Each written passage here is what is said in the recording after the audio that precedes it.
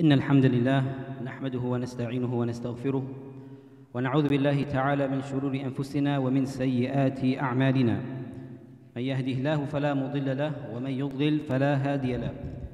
وأشهد أن لا إله إلا الله وحده لا شريك له. وأشهد أن محمدا عبده ورسوله صلوات الله وسلامه عليه. أما بعد فقد قال الله تعالى في كتابه العزيز بعد أعوذ بالله من الشيطان الرجيم. يا أيها الذين آمنوا اتقوا الله حق تقاته ولا تموتن إلا وأنتم مسلمون. يا أيها الناس اتقوا ربكم الذي خلقكم من نفس واحدة وخلق منها زوجها وبث منهما رجالا كثيرا ونساء. واتقوا الله الذي تساءلون به والأرحام إن الله كان عليكم رقيبا. يا أيها الذين آمنوا اتقوا الله وقولوا قولا سديدا يصلح لكم أعمالكم ويغفر لكم ذنوبكم. ومن يطع الله ورسوله فقد فاز فوزا عظيما. أما بعد فإن أصدق الحديث كتاب الله وخير الهدي هدي محمد صلى الله عليه وسلم وشر الأمور محدثاتها وكل محدثة بدعة وكل بدعة ضلالة وكل ضلالة في النار. ثم أما بعد We praise Allah subhanahu wa ta'ala uh, in all time situations and places. And we have uh, undoubtedly every one of us have seen in the past few weeks uh, the pictures and the videos of the suffering that uh, is going on in the land of Philistine uh, at this current moment and has been going on. And we've seen the destruction, we've seen the uh, killing of little children, innocent people, destruction of schools, hospitals, and the list goes on of the destru- destruction and oppression that is going on, has been going on, and uh, unfortunately seems to continue to go on. So we've seen this, and uh, of course, as Muslims, we feel the pain, we feel the suffering of our Muslim brothers and sisters, and the question that comes up is what should we be doing? What can we be doing to aid or help our Muslim brothers and sisters who are suffering, who are being oppressed, who are being killed, and the list goes on. And Rasulullah says in the hadith, unsur akhaka zaliman aw mazluman. That no matter what, no matter what, we are to aid our Muslim brothers and sisters. If they are a zalim, if they are an oppressor, then we aid them by stopping them from oppressing and stopping them from committing evil. And if they are oppressed, then obviously then even they are even in more need of our help. So what can we be doing to help our brothers and sisters? There's two main things that we can be doing, two main categories of things that we can be doing to help our brothers and sisters. Number one is the material, material way of helping, and that is donations, sending aid, medicine, food, humanitarian relief, uh, raising awareness, speaking out, uh, letting people know what's going on, presenting the truth, presenting the true situation, uh, organizing boycotts, uh, protests, demonstrations. All of these are material ways of aiding and helping our brothers and sisters. And there are many different organizations, many different masajid that are carrying out these uh, duties, as we had earlier just announced. The uh, aid campaign, donation, all these, things, all these things are good, all these things are beneficial.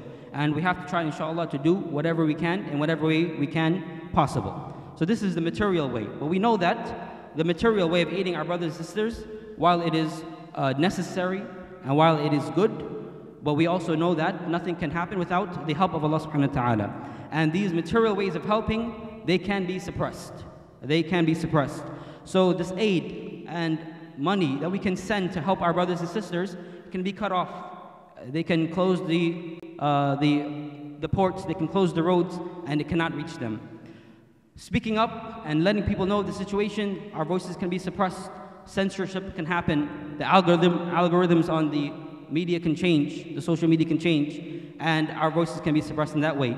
Demonstrations, boycotts, these things can become, uh, they can be, they can become a matter of illegal. They can become made illegal, as we have seen attempts to do so. So the material means can be suppressed, but the divine means of helping our brothers and sisters cannot be suppressed, and that is by seeking Allah subhanahu wa ta'ala's help uh, and aid. And of course, we combine both of them. We combine the material way of helping our brothers and sisters, and this is part of uh, taking the means, akhdul asbab, which is something necessary, that we don't just rely upon Allah subhanahu wa ta'ala and not do anything. We have to do our part. And after we have done our part, then we put our trust in Allah subhanahu wa ta'ala. But we also have to maintain the divine way of helping our brothers and sisters. And that is, of course, asking Allah subhanahu wa ta'ala, making dua to Allah subhanahu wa ta'ala. Allah is the one who says about himself, Ud'uni astajib lakum. Call upon me, and I will answer you. Ujibu da'wat da'i idha da'an. I answer the call of the caller when he calls. أمن يجيب المضطر إذا دعاه ويكشف السوء who is the one who uh, answers the call of the one who is in distress in distress and removes the difficulties and removes the calamities it's Allah subhanahu wa ta'ala and in particular there are certain types of du'as that are even more likely to be accepted by Allah subhanahu wa ta'ala and one of them is the, the dua of the one who has been oppressed the one who has been oppressed as Rasulullah says in hadith وَاتَّقِي دَعْوَةَ الْمَظْلُومِ And fear and be careful. Don't ever let yourself be on the uh, receiving end of a dua from a person who's oppressed. وَاتَّقِي دَعْوَةَ الْمَظْلُومِ Be careful of the dua of the one who is oppressed. فَلَيْسَ فَإِنَّهُ لَيْسَ بَيْنَهَا وَبَيْنَ اللَّهِ حِجَابٍ Because there is no barrier between the dua of the one who's oppressed and between Allah answering that dua. So this is the foremost thing that we can do to help our brothers and sisters, in addition to the material means as we mentioned before. To call upon Allah subhanahu wa ta'ala sincerely and make dua to Him to relieve the situation that our Muslim brothers or sisters are in, in Palestine and across, the world in other countries and other localities as well. Let's take a look at a few examples of da'watul mazlum, the call of the oppressed as Allah mentions in the Quran. We have the example of Musa alayhi salam. Musa alayhi salam and Bani Israel, they were oppressed. They were oppressed for many years by the biggest tyrant and the biggest zalim mentioned in the Quran and probably in all of human history, and that is Fir'aun The Fir'aun. الذي قال أنا ربكم الأعلى. The one who said, I am your Lord the Most High. The one who said, ما, لك, ما علمت لكم من إله غيري. I don't know of any gods that you have besides me. The one who propped himself up arrogantly in the land. إن فرعون علا في الأرض. The Fir'aun, he propped himself up arrogantly in the land. وجعل أهلها شيعا. And the one who split up, split up his people and divided his people. And the one who oppressed a group of them. يستضعف طائفة منهم. And he oppressed a group of them to the point where he started to slaughter their male children يستضعف طائفة منهم يذبح أبناءهم ويستحيي نساءهم and he, he, he was it got to the point where he was started to slaughter the male children and he left the female children alive this is Fir'aun the biggest tyrant mentioned in the Quran and Musa alayhi salam along with who Bani Israel Bani Israel and if you look at what happened to Bani Israel in the past as mentioned in the Quran and the oppression that they went through and the suffering that they went through. And then we compare it to what's going on today, we see a huge irony of who was oppressed, as mentioned in the Quran, all those thousands of years ago, and who is doing the oppression today. It's a very big irony that this can, something like this can happen to the very people who were oppressed and were uh, and faced this type of humiliation. So Musa alayhi for years and Bani Israel they were oppressed by Fir'aun and his people.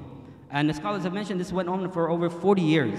40 years, Fir'aun and his uh, officers and his chiefs, they put the pressure and oppressed and humiliated and disgraced Bani Israel. And Allah mentions that Musa alayhi tried different ways of giving da'wah to Fir'aun and his people, and this went on for a long time until Musa alayhi salam got, uh, or he ran out of whatever patience he had. And Allah mentions the dua that Musa salam made against his oppressor. Allah says in the Quran, وقال موسى ربنا إنك آتيت فرعون وملأه, وملأه زينة وأموالا في الحياة الدنيا. So Musa alayhi salam, after enduring years, years of oppression, years of disgrace and, and humiliation, he finally makes dua to Allah subhanahu wa ta'ala against the oppressor. And he says that, O oh Allah, O oh our Lord, you have given Fir'aun and his chiefs all of the luxuries and riches of this world. رَبَّنَا لِيُضِلُّ عَنْ سَبِيلِكَ But all they have done is that they have averted others from your path. So Musa salam is saying that they've enjoyed themselves long enough. You give them all the, the riches in the world, but all they have done is commit, commit mischief and oppression on the earth. رَبَّنَا لِيُضِلُّوا عَنْ سَبِيلِكَ So they have called apart, apart from their way. رَبَّنَا مِسْ عَلَىٰ أَمْوَالِهِمْ So then Musa alayhi makes dua against them. O Allah, O Allah, O our Lord, obliterate their wealth. رَبَّنَا اطْمِسْ عَلَىٰ أَمْوَالِهِمْ وَاشْدُدْ عَلَىٰ قُلُوبِهِمْ And harden their hearts. Harden their hearts. فَلَا يُؤْمِنُوا حَتَّى يَرَوُا الْعَذَابِ الْأَلِيمِ So that they do not believe until they see the painful punishment. So Musa alayhi made this dua that, Oh Allah, get rid of them, obliterate them and their wealth, and harden their hearts so they don't have even a chance to uh, turn back to Allah subhanahu wa ta'ala until they say, until they see the painful punishment. And this is exactly what happened. Allah subhanahu wa ta'ala gave the order, فَأَسْرِ بِعِبَادِي لَيْلًا إِنَّكُمْ مُتَّبِعُونَ So take, uh, take you and your, your tribe and leave at night. Allah commanded them to leave at night and you will be followed. And so Fir'aun followed them along with his army. فَأَتْبَعَهُمْ فِرْعَوْنُ بِجُنُودِهِ بَغْيًا وَعَدْوًا And Fir'aun followed them in, uh, in, uh, in enmity and in oppression. And then they got and they caught up to Musa alayhi salam and Bani Israel, and even Bani Israel, when they were, when Fir'aun's army caught up to them, they started to panic and they started to uh, lose hope. فلما تراءى الجمعان قال أصحاب موسى إنا لمدركون. So when they saw that when the two sides met, Fir'aun's army finally caught up. Then Bani Israel, they began to panic and they said to Musa, we're going to be caught. They're going to catch us and they're going to uh, take, us, take us out. They're going to obliterate us. And Musa alayhi salam responded, he said, قال كلا إن معي ربي سيهدين. No, Musa said, no, that Allah is with me and He will surely guide me to the way. And so then Allah Azza wa Jal inspired to Musa, وَأَوْحَيْنَا إِلَى مُوسَى أَنْ اضْرِبْ بِعَصَاكَ الْبَحْرَ Take your staff and hit the sea, and then the sea split open. And each side were like mountains, and they crossed the sea. And Fir'aun, in his arrogance and in his takabbur, he entered into that sea thinking that he would also be able to cross, and Allah subhanahu wa ta'ala caused the waves to come, and they were all swallowed and drowned by the waves. And as he was drowning, حتى إذا أدركه الغرق, as the, the waves were coming to Fir'aun, he tried to declare his iman at the very end. حتى إذا أدركه الغرق قال آمنت أنه لا إله إلا الذي آمنت به بنو إسرائيل وأنا من المسلمين. He tried to then uh, declare his iman at the very last minute. But as Musa's dua said, harden their hearts, فَلَا يُؤْمِنُوا حَتَّى يَرَوُا الْعَذَابَ الْأَلِيمِ Do not make them believe until they see the painful punishment. And so he saw that painful punishment coming to him, and he tried to declare his iman, but it was not accepted from him. As Allah says, الْآنَ وَقَدْ عَصَيْتَ قَبْلُ وَكُنْتَ مِنَ الْمُفْسِدِينَ Now are you going to try to repent when you have caused corruption, chaos, and fitna, and fasad in the earth? it's not going to be accepted anymore. So this was the dua of Musa alayhi to the one who oppressed him and his people for years, over 40 years of oppression, of humiliation and disgrace.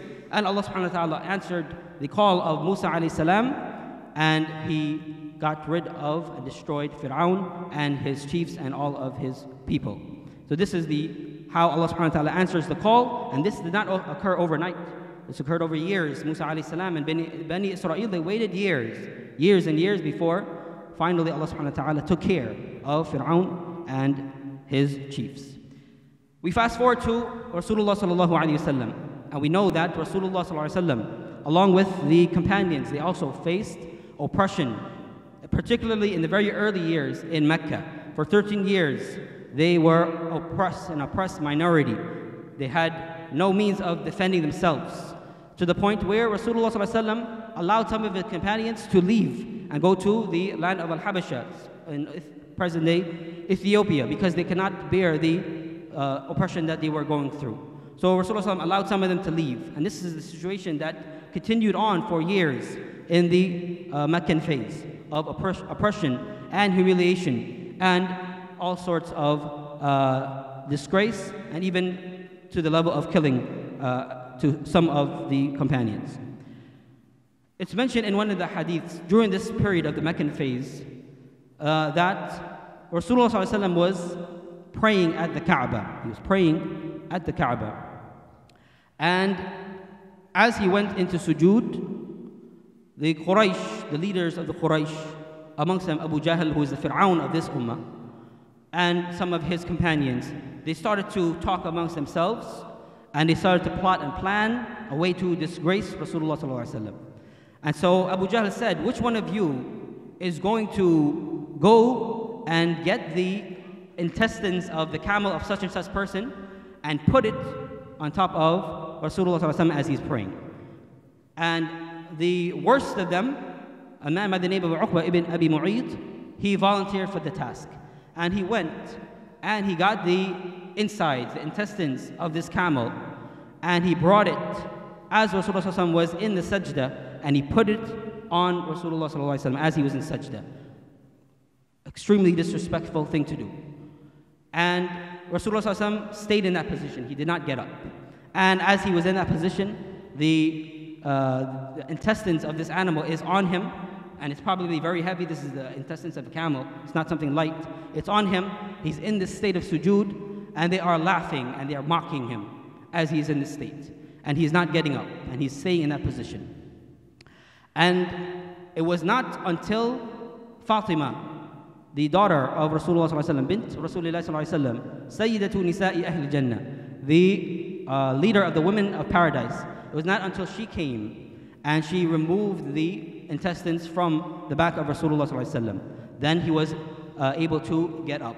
Before that, the one who's narrating this incident, Abu, uh, Ibn, Abdullah ibn Mas'ud, he says that I saw this incident unfolding and I couldn't do anything. And he was complaining that I saw this happening and I could not do anything. I was just watching, but he was a person who was also in a, very weak state. He was not a slave, but he was just a level above a slave. So he did not have any power or authority uh, amongst the Meccan society. So he was in this position watching this unfold, and he says, I could not do anything. And so Fatima uh, radiallahu anha, she comes and she takes off the, uh, the intestines of this camel from the back of Rasulullah and then he stands up, and then he stands up, and he makes dua against those who have oppressed him. And he says, Rasulullah says three times, he makes dua against Quraysh, Allahumma alayka bi Quraysh. Allahumma alayka bi Quraysh. Allahumma alayka bi Quraysh. Three times he makes dua to uh, Allah subhanahu wa ta'ala against Quraysh. And when he started to make this dua, they started to become worried and they started to become very shaken, Abu Jahl and his companions, because they knew that du'as, especially in that place, in front of the Kaaba, are answered. They know that. And so they started to get very worried that Rasulullah was making dua against them. And after he made a general dua against Quraysh, then he started to name names. And he started to call them out one by one. He said, Allahumma alayka bi Abi Jahl, wa alayka bi Utbah ibn Rabi' wa Shaybat ibn Rabi' wal Walid ibn Utbah wa Umayy ibn Khalaf wa Uqbah ibn He started to call them out one by one. Names of those who took part in this disgusting action, putting the intestines of the camel on Rasulullah sallallahu alaihi wasallam. And he called them out one by one by name and made dua against them. And Abdullah bin Mas'ud, he says that, he swears, I swear by the, by the one whose, uh, who, who's, who, uh, who, whose my soul in, is uh, in his hands, I swear by the one who possesses my soul, that everyone, everyone who Rasulullah named in that dua against them, I saw all of them in the wells, down buried in the wells at the Battle of Badr, after the Battle of Badr. They were all killed. They were all killed, and put into the wells of Badr after the battle of Badr. So this was the dua of Rasulullah against those who were oppressing him. And Allah answered this dua years later. It did not occur right away. It occurred years later, but Allah answered the dua and He uh, took revenge for His Prophet on what these people did. And He, all of the leaders, the main leaders of Quraysh were killed on the day of Badr. And this is how Allah subhanahu wa ta'ala answers the dua of the believers. Wa sallallahu wa sallam wa baraka ala Sayyidina Muhammad. Walhamdulillahi Rabbil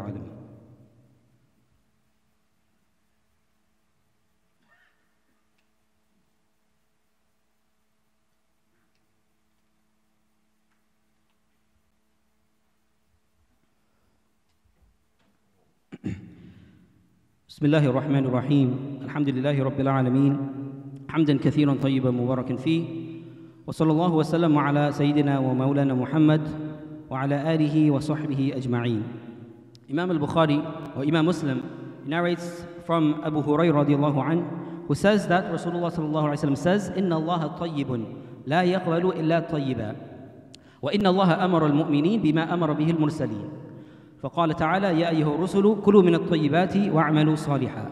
وقال تعالى يا أيها الذين آمنوا كلوا من طيبات ما رزقناكم.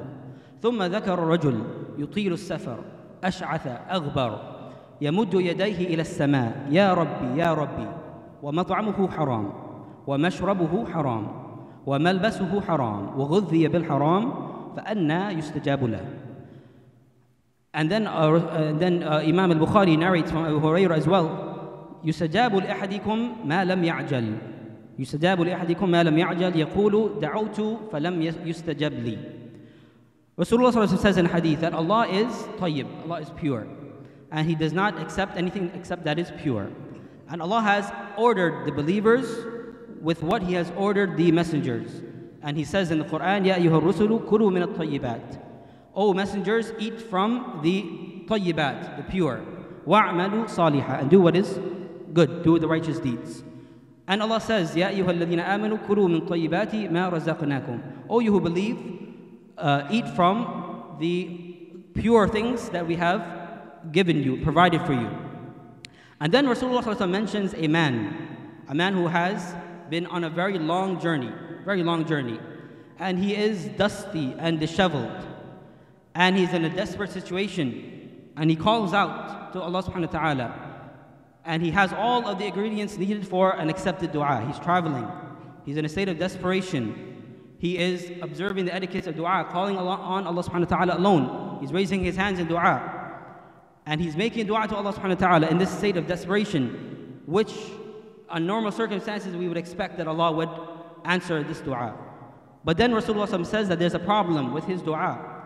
And this problem is that ومطعمه حرام his food is haram ومشربه حرام his drink is haram وملبسه حرام and his clothing is haram وغذي بالحرام and his sustenance and his livelihood is haram he's earning haram uh, he's earning uh, his life, livelihood from haram means فأنا يستجاب له then how is his dua going to be accepted so we mentioned that the best way we can help our brothers and sisters is by dua but we need to also do or uh, fix ourselves in a way to make our du'as be accepted. If our entire around the haram, then how are we going to expect the dua to be answered? As this man who is on this long journey, disheveled and dusty, raising his hands, but his dua is not being answered because his life revolves around haram. So we're making the dua and we're wondering why it's not being accepted. Maybe there's a reason why it's not being accepted. It comes back to us. So we need to do what is upon us to make sure and ensure that our dua is accepted. In another hadith, Rasulullah says uh, that يُسْتَجَابُ لِأَحَدِكُمْ مَا لَمْ يَعْجَلْ That a person's dua will be accepted.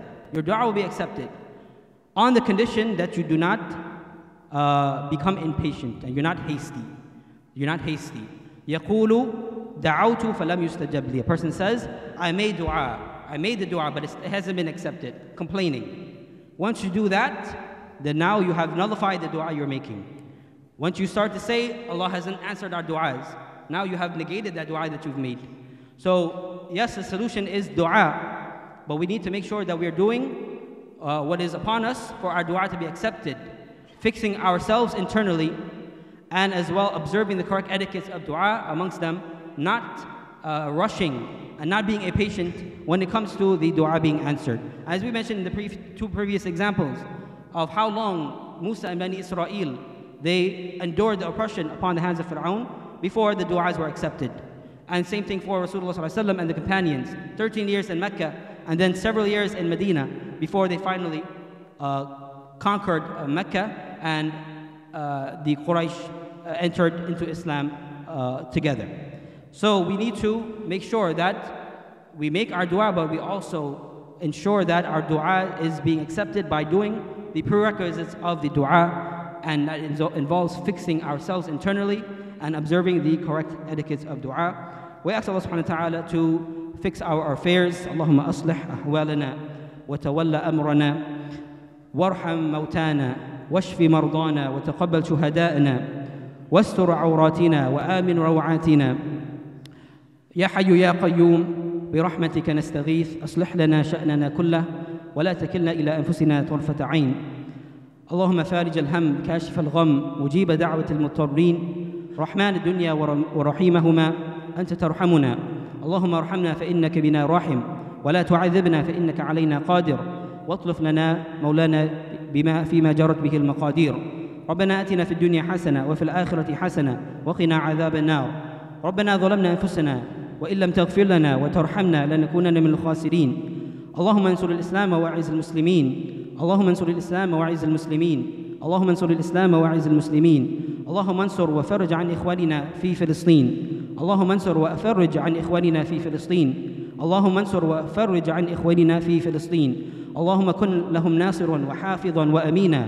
اللهم احفظهم من بين أيديهم ومن خلفهم وعن يمينهم وعن شمالهم ومن فوقهم ونعوذ بعظمتك أن يغتالوا من تحتهم. ربنا لا تؤاخذنا بما نسينا أو أخطأنا. ربنا ولا تحمل علينا اصرا كما حملته على الذين من قبلنا. ربنا ولا تحملنا ما لا طاقة لنا به. واعف عنا واغفر لنا وارحمنا. أنت مولانا فانصرنا على القوم الكافرين. إن الله وملائكته يصلون على النبي. يا أيها الذين آمنوا صلوا عليه وسلموا تسليما. اللهم صل على محمد وعلى آل محمد كما صليت على إبراهيم وعلى آل إبراهيم إنك حميد مجيد. اللهم بارك على محمد وعلى آل محمد كما باركت على إبراهيم وعلى آل إبراهيم إنك حميد مجيد. عباد الله اتقوا الله يرحمني ويرحمكم الله. إن الله يأمر بالعدل والإحسان وإيتاء ذي القربى وينهى عن الفحشاء والمنكر والبغي يعظكم لعلكم تذكرون. فاذكروا الله يدعوه فاذكروا الله العليم يذكركم وادعوه يستجب لكم ولذكر الله أكبر والله يعلم ما تصنعون. أقيموا الصلاة.